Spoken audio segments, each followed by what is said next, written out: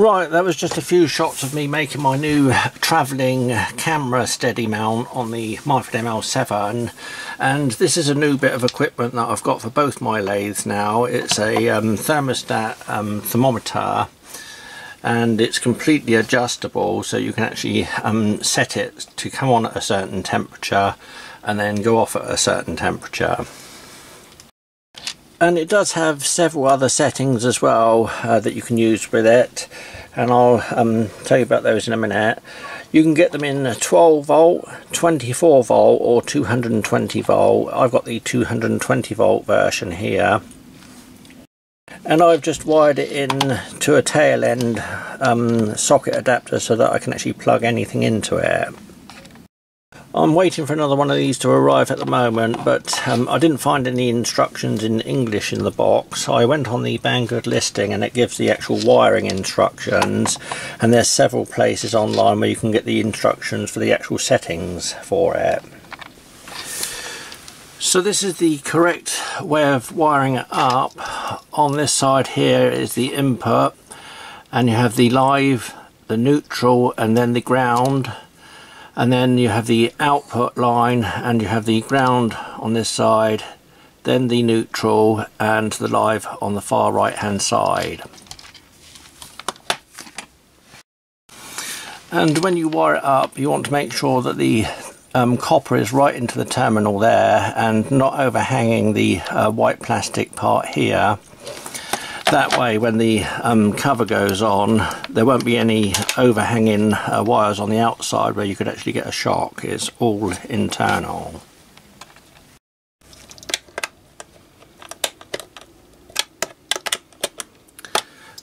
And it does look nice and neat when the cover's back on and you can see there that it's nice and safe Incidentally, the um, unit is called an XH-W3103 and like I say you can get them in the different voltages. Um, when you actually get them through just check because it has 12 volt 24 volt and 220 volt on the back there. And the one you get should be marked um, mine's just marked there with some marker pen. Just check that you have the right one before you start wiring it up and I'm going to mount these uh, very near my Chinese mini lathe and my Myford ML7 and use these uh, small USB fans. Um, these don't use much electricity at all. That's why I put the tail end on rather than wiring a fan um, straight into this one so I can use these ones or you could plug a bigger fan in um, if necessary. And then in the summer, um, if we get any hot weather, um, I can actually use these fans, uh, put them right up behind the three-phase motors. When they're getting to a certain temperature which I consider a bit hot I'll have the fan switch on and then as the motor cools down again it'll switch off automatically.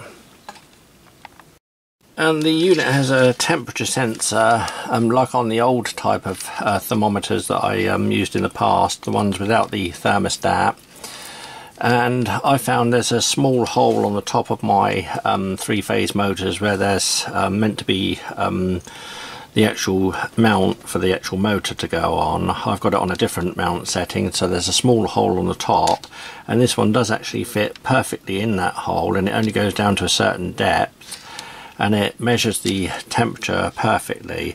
If you don't have a hole to actually uh, put the probe in you can actually put it in between uh, the fins on the motor and stick it in there with some Blu Tack or something so that the actual sensor is making contact with the metal and the Blu Tack is just holding it on there. And you can see there that it's got a nice long sensor cable on it already wired in. So this is the main mode here and this is the temperature um, at which the um, unit will switch on. I've set that with these up and down arrows, it's all dead easy. And then this is the temperature which will go off. I've set it at 20 for now just for an example. And you'll see when I hold the actual um, sensor there, the temperature will start going up as soon as it gets to um, 25 the red light will display, the green light will go off and the fan will start up. and it's a lovely positive unit uh, really good um, switch in it and then obviously when that cools down it'll switch off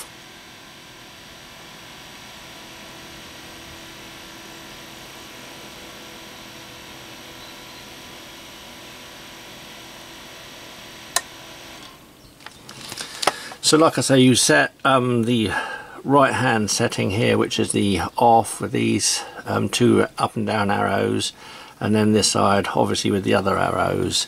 Then you have various different settings which you can go through.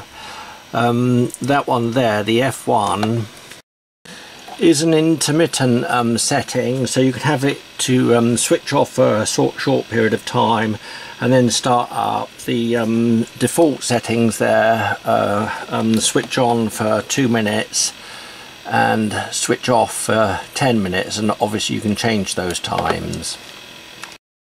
Then you press the middle set button again and go to F2 and that's a timed mode. The default setting is 30 minutes so it'll actually count down from 30 minutes and then switch off. And obviously again you can actually change that 30 minutes um, to whatever you want on that side.